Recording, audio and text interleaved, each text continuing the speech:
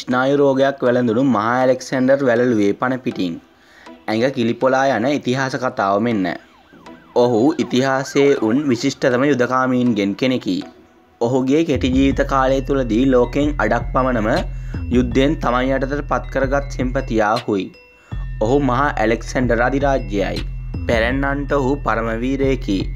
දුර්ලභ නිර්භීත බවකුත් අතිමහත් දෛරයකුත් තිබුණු මේ ඔවුන් අධිරාජ්‍යයා තම සතුරන්ට පවා ත්‍යෑගශීලී වූ බවද මිතුරන්ට බෙහෙවින් ලෙංගත් වූ බවද කියවෙයි. එමෙන්ම ඔහුගේ චරිතයේ අඳුරු දරුණු පැතිකඩක් ගැනද පැතිරෙනු කතායමටයි. ඇලෙක්සැන්ඩර් කුමරු ඉපදුනේ ක්‍රිස්තුපූර්ව තුන්සිය පනස්සයේදී. මැසදෝනියාවේ උතුරුග්‍රීසියේ රජු දෙවන පිළිප් රජුගේ පුත්‍රයා ලෙසයි. කුඩාවියේදී ඔහු අධ්‍යාපනය ලබන්නේ මහාදර්ශනික ඇරිස්ටෝටල් පඩිවරයාගෙනී. ඉන් පසු ක්‍රිස්තුපූර්ව තුන්ස්්‍යතිස් හයේදී පිළිප් රජු ඝාතනයවීමෙන් පසුව ඇලෙක්සැන්ඩර් කුමරු මැස්දෝනියාවේ පාලකයා බාට පත්වෙයි.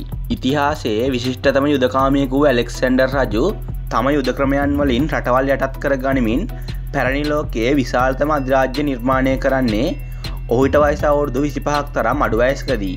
ඔහුගේ අධිරාජ්‍ය මහද්දීප තුනකට අයත් වර්ග සැතපුම් මිලියන දෙක භූමි ප්‍රමාණයක් පුරා විහිදුව එකක් විය. ඔහුට මිනිසුන් කොතරම් පක්ෂපාතිී වූයේ දෙයත් ඔහු පෙන්වන ඕනෑ මාර්ගක යන්නටත් අවශ්‍ය අවස්ථාවකදී ඔහු වෙනුවෙන් දීපු දන්නටත් ඔවුන් සූදානමින් සිටියහ. අඩුවයසිම්ම ලෝකේම ජයගන්නට හැකියාව තිබුණු ඔහුට අඩුවෑසිම්ම ජීවිතය හැරයන්නට සිදුවිය.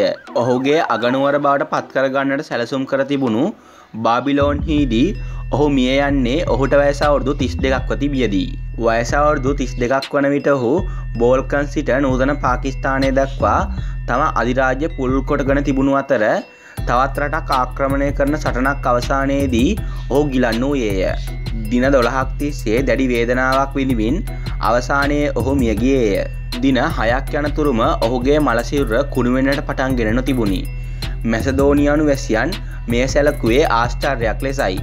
තමන්ගේ අසහය යුදවීරයා දේවත්වයට පත්ව ඇතැයි ඔවුන් විශ්වාස කළහ. ඔහුගේ මරණයට හේතුව කුමක් දැයි නිශ්චිත වසයෙන් තීරණය කොට තිබුණේ නැත. එතෙක් මෙතෙක් ඉතිහාසක්ඥයන් විසින් මරණයට හේතුව කුමක් විය හැකි දැයි සොයා බැලූහ. ඒ ගැන විවිධ මතිමතාන්තර ඉදිරිපත් විය. මරණයට හේතුව මැලේරියාව හෝ උනසන්නිපාතය විය හැකියයි ඇතැමුන් කී අතර මත්පැන් විෂවීමෙන් මරණය සිදුවේ යැයි හෝ සතුරු පාර්ශවයකින් වසදීමෙන්නේ සිදුවේ යැයි මත ඉදිරිපත් විය. ශතවර්ෂ ගණනාවක් තිස්සේ නොවිසඳනු මේ ගැටලුවට පිරිතුරු තමන් සතු ඇතියැයි දැන් නවසීලන්තේ සෞඛ්‍ය විද්‍යා පර්යේෂණ ආචාර්ය කැතරිං හෝල් පවසයි.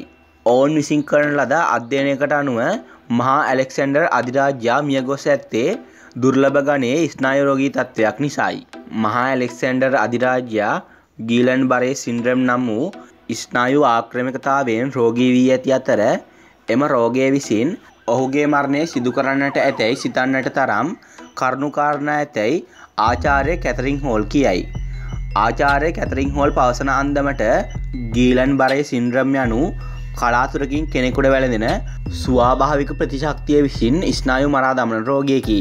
එය යමකුගේ ශරීර අභ්‍යන්තරයෙන් විනාශ කරන්නකි. ආචාර්ය කැතරිං හෝල්ගේ පර්යේෂණ කණ්ඩායම ඓතිහාසික මූලාශ්‍රෑසුරෙන් මහා ඇලෙක්සැන්ඩර් අධිරාජ්‍යගේ රෝගලක්ෂණ නිර්ණය කරන්නේ මෙසේයි. ඔහුගේ රෝගය ආරම්භ වෙන්නේ ඔහු අධික වයිම්බීපු කර්කශක රාත්‍රියකින් පස්සේ. ඔහු පහුවදාවදේ අධික වෙහෙසක් ගැනත් ශරීරයේ වේදනාවක් ගැනත් කියනවා. එයින් දවසකට පස්සේ දැඩි උදරයේ වේදනාවක් ඇලෙක්සැන්ඩර් අධිරාජ්‍යාට ඇතිවෙනවා. ඒ අතරේ අධික වුණක් ඔහුගේ ශරීරය ආක්‍රමණය කරනවා. අධික වේදනාව නිසා ඔහු ඇඳරම සීමා වෙනවා. අටවැනි දවස වන විට ක්‍රමයෙන් ඇහිපිය ගැසීම ඇරෙන්න වෙනත් ශරීර චලනයක් කළ නොහැකි තත්ත්වයට පත්වෙනවා. ටිකෙන් ටික ඔහුගේ සියලු මාංශපේශීන් අක්‍රිය වෙමින් යනවා. එකොළොස් වන දිනය වන විට ඔහුගේ මාංශපේශීන් කොතරං අක්‍රියව ගොස් තියෙනවද කිව්වොත් ඔහු හුස්ම ගන්නා බවටවත් වෛද්‍යවරුන්ටවත් දැනගන්නට හැකිවන්නේ නෑ. ඒ නිසා එකොළොස්වනි දිනේදී මහා ඇලෙක්සැන්ඩර් අධිරාජ්‍යයා මියගිය බවට ප්‍රකාශයට පත් කරනවා. තවත් දින හයක් වනතුරුම ඔහුගේ සිරුර නරක් වන සලකුණක්වත් නැහැ. මිනිසුන් එක ආශ්චාරයක් කියලා හිතුවත් එයට හේතුව තමයි ඒ වන විටත් ඔහු මියගොස් සිටියේ නැතිවීම. මහා ඇලෙක්සැන්ඩර් අධිරාජ්‍යගේ සිවර මිහිදං කරන්න සූදානම් කරන කොටත් ඔහු ජීවතුන් අතර.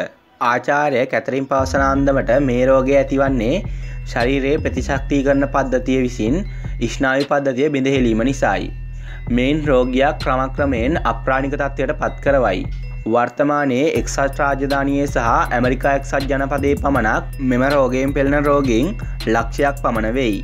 මෙම රෝගය ඇතිවන්නේ උදරේ ඇතිවෙන බැක්ටේරියා ආසාධන තත්ත්වයකින් වන අතර මේ මොලයට බලපෑමක් වෙන්නේ නැහැ. මේ නිසාම ඇලෙක්සැන්ඩර් අධිරාජ්‍යාගේ සිවර මිහිදං කරන්න සූදානම් කරන අවස්ථාවත් ඔහු ඉන්නට ඇත්තේ ගැඹුරු කෝමාතත්වයක.